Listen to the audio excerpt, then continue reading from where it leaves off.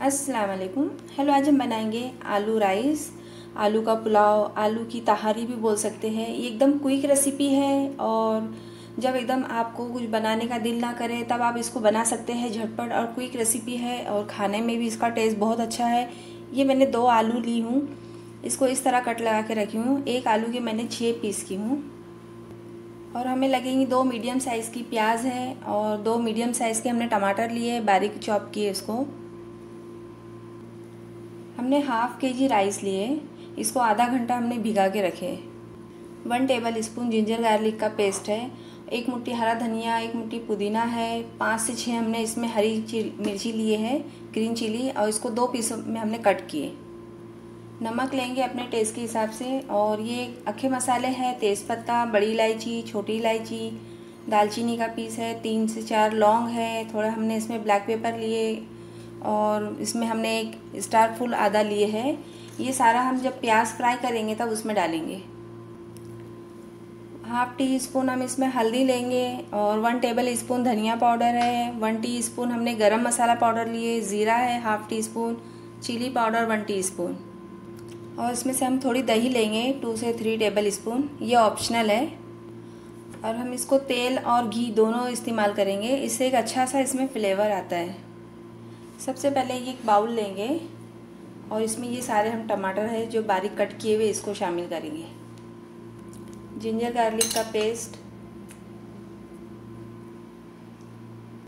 नमक, ये हरे मसाले और ये सारे ड्राई मसाले। और इसमें दही डालेंगे। अब इसको अच्छी तरह मिक्स करेंगे। और इसमें साथ में हम आलू भी मिक्स करेंगे। ये सारी चीज़ें हमने अच्छी तरह मिक्स कर ली, आप देख सकते हैं। अब इसको हम साइड में रखेंगे और प्याज को हम फ्राई करके लेंगे। एक गैस पे हमने बर्तन चढ़ा दिए वन टेबल स्पून इसमें घी ऐड करेंगे और वन टेबल स्पून ऑयल अब इसमें ये मसाले डालेंगे। अब इसमें प्याज डालेंगे।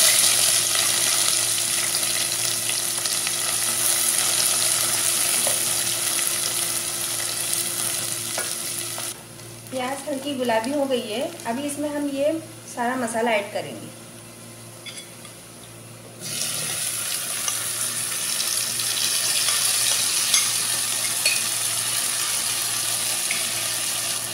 अब इसको अच्छी तरह हम मिक्स करेंगे।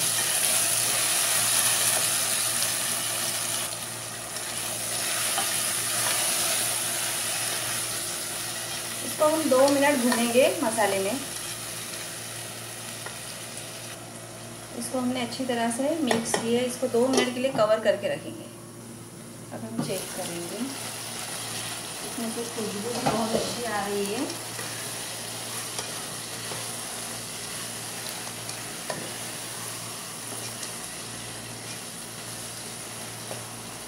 अब इसमें हम पानी ऐड करेंगे।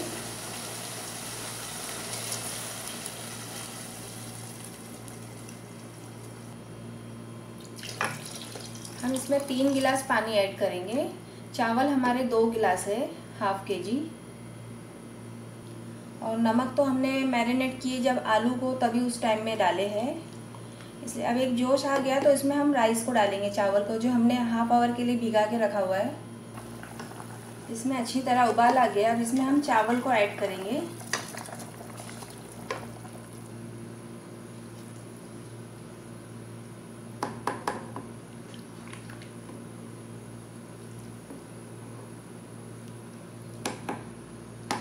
अभी इसका पानी ड्राई होने तक इसको हम पकाएँगे।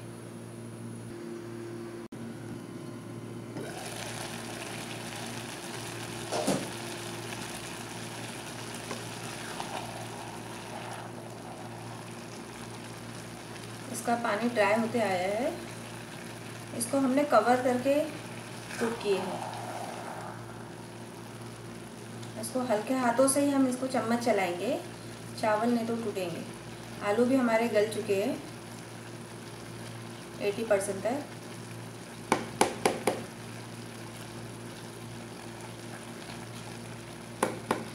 अभी इसको 10 मिनट के लिए हम दम पे रखेंगे धीमी आँच करके। दस मिनट हो गए, अभी हम चेक करेंगे। माशाल्लाह, बहुत ही अच्छी खुशबू आ रही है और ये पककर रेडी है। अभी हम गैस ऑफ़ करेंगे और इसको डिश आउट करेंगे। ये हो गई हमारी आलू की तहारी। आलू का पुलाव बहुत ही अच्छा बना है। इसमें से खुशबू भी बहुत अच्छी आ रही है और एकदम क्विक रेसिपी है। आपने देखी कितनी जल्दी हो गई है ये। और आप इसके साथ में दही का रायता कचुम्बर है, पपड़ है। अगर आप रायता नहीं लेना चाहते हैं तो आप इसकी जगह अचार लें। बहुत ही अच्छा लगता है इसका कॉम्बिनेशन खाने में। और बहुत ही क्विक रेसिपी है, सबको पसंद आने वाली रेसिपी है। आप भी इसे ज़रूर ट्राई कीजिए। अगर आपको मेरी रेसिपी अच्छी लगी तो मेरे वीडियो को लाइक और मेरे चैनल को सब्सक्राइब करना ना भूलें। कमेंट भी कीजिए। Thank you for watching